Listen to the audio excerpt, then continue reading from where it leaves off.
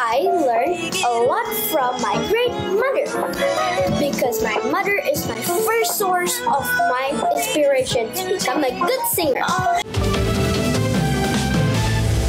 Rayakan ultah, bocil malah jilat api lilin.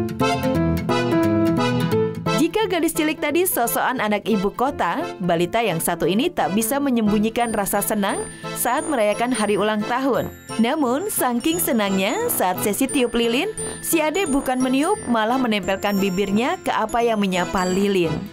Duh adek, kayaknya mau pertunjukan debus ya. Biar beda gitu sama ultah yang lain.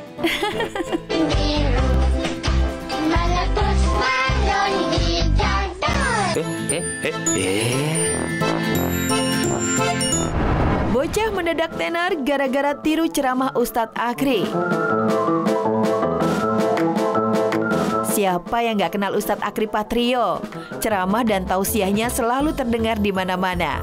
Baru-baru ini seorang bocah mendadak tenar gara-gara aksi kocaknya melipsing ceramah Ustadz Akri Patrio. Gerakan bibir dan ekspresi wajah sang bocah terlihat lucu ketika melakukan lip sync. Biarin suami hitam juga biarin. Gak usah pakai bangun malam ya Allah. Putihkanlah suami. Biarin suami kita hitam yang penting selalu ngasih. Biarin suami kita nggak ganteng asal bagi. Biarin suami kita mau pergi dua tiga hari asal sebelum pergi ninggalin.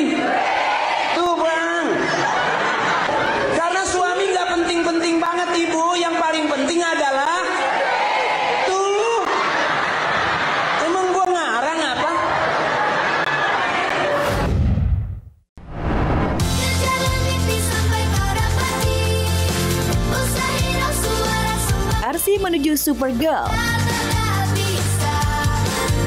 Usia baru 9 tahun, Arsi Hermansyah sudah tunjukkan multi talentanya.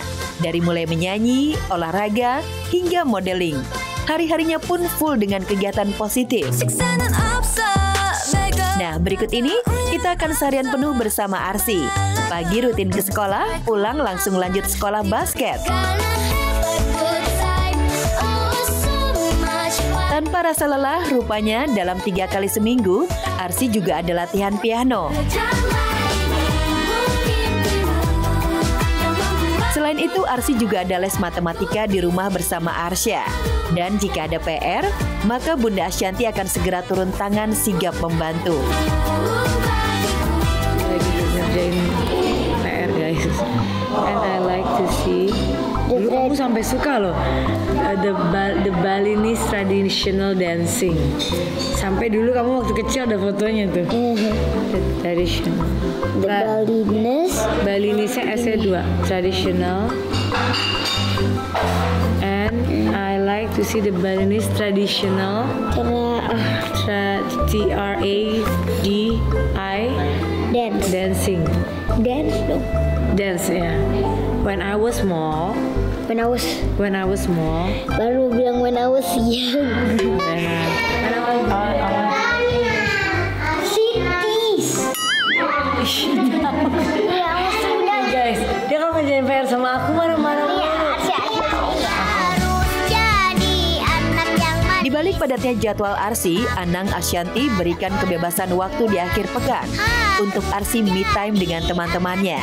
Biasanya Arsi akan memilih hangout sekaligus perawatan tubuh.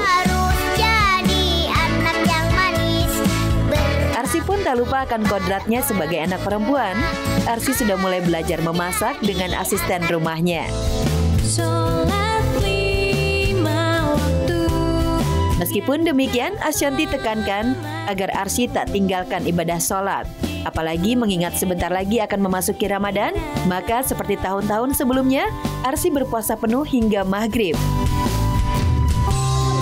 ngajarin Arsi sama Arsa puasa gimana bun? Arsi udah dari tiga tahun lalu alhamdulillah full udah puasanya Gak tahu ya kadang-kadang kan makin besar makin mengerti kayak uh, eh nggak tahu kadang-kadang ya tapi bisa juga dia malah jadi lebih paham bahwa nggak boleh batal apa apa tapi kita selalu walaupun masih kecil sih tapi ngajarin walaupun masih kecil karena uh, mereka seneng gitu saat kita bisa buka puasa bareng kan yang nikmat adalah pada saat puasa tuh buka puasa bareng sahur bareng terus sholat bareng, terawih bareng.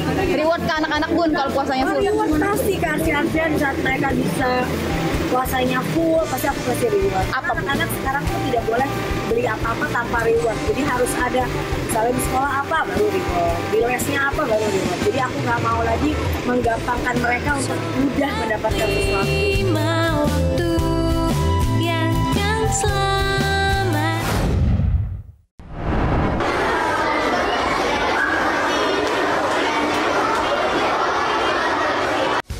Bikin bangga Ayu Ting Ting, Bilkis juara lomba presentasi bahasa Inggris. Bilkis Humara Razak, putri kesayangan Ayu Ting Ting, bikin bangga keluarga. Baru-baru ini, Ikis yang masih duduk di bangku kelas 4 SD, menoreh prestasi, ia berhasil menyabet juara satu lomba presentasi makalah dalam bahasa Inggris yang ia presentasikan di depan para panelis. Before I start my presentation, I would like to introduce myself.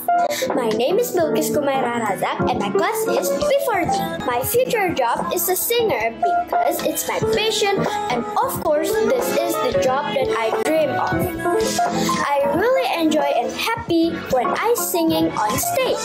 I learn a lot from my great mother because my mother is my first source of my inspiration to become a good singer. I have another figure which become my inspiration.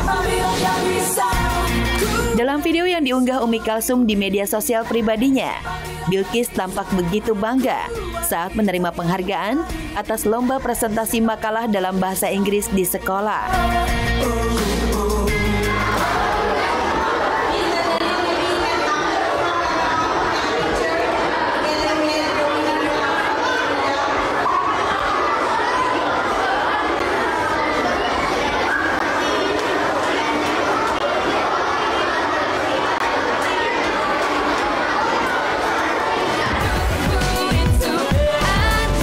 Sebagai nenek yang mengurus Bilkis sejak kecil, Umi Kalsum tak bisa menyembunyikan rasa terharu bangga atas pencapaian cucu pertamanya. Lewat akun Instagram pribadinya, Ibunda Ayu Ting Ting mengungkap rasa bahagia dan bangga. Alhamdulillah, cucu ibu menang juara satu perlombaan presentasi. Semangat selalu, nak. Ibu bangga sama cucu ibu sayang. Terus belajar dan semangat ya, nak. Kamu pasti bisa, nak. Unggahan Umi Kalsum pun langsung diserbu ucapan selamat dari kalangan selebriti yang ikut bangga dengan prestasi yang diraih Bilkis. Penghargaan yang diraih Bilkis Sumaira Razak di sekolahnya tidak saja membuat keluarga Ayu Ting Ting bangga, tapi juga bikin Ayu Ting Ting yang sudah beberapa hari belakangan tengah dirawat lantaran jatuh sakit. Langsung terlihat ceria, tahu dan melihat putri kesayangannya meraih juara. Tita titut atut tutuh tatih tayang Kasih sayang darimu yang semakin menghilang Apakah kau Beberapa hari jatuh sakit lantaran kelelahan. Ayu banjir doa dan dukungan. Salah satu dukungan paling berarti adalah dari sang calon suami yang terlihat setia mendampingi ikut merawat Ayu Ting Ting. rasakan Aku butuh cinta Bukan yang lain